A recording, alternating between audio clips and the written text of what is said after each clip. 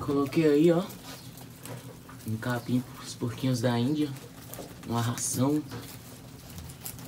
Ia dar sua ração nessa manhã, né?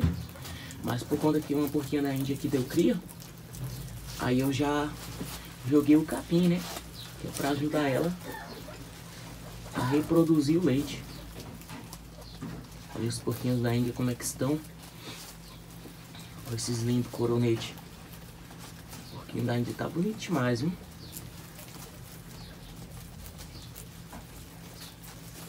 É, aqui tá seca muito, muito brava, muito forte.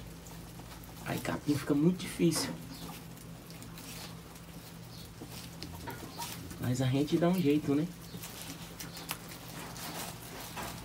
Olha ali, ó. Porquinho da Índia lindo, ó. Tem um pouquinho da Índia lindo. Da Índia aí bonito, viu?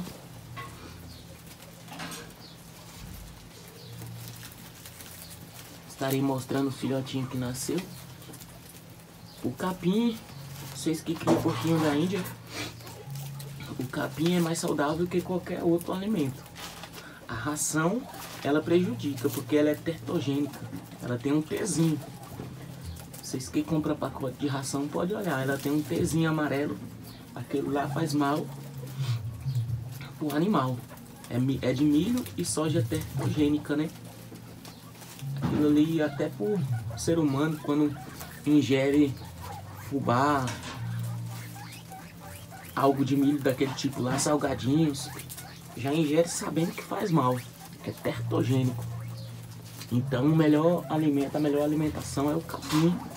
É o capim e as verduras plantadas, né? Verdura sem veneno.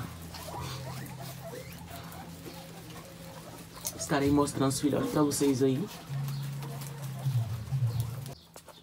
Olha os lindos porquinhos da Índia que nasceu. Nasceu esse, esse branco cinza e com a face laranjinha. Celte, olha. Lindo, viu?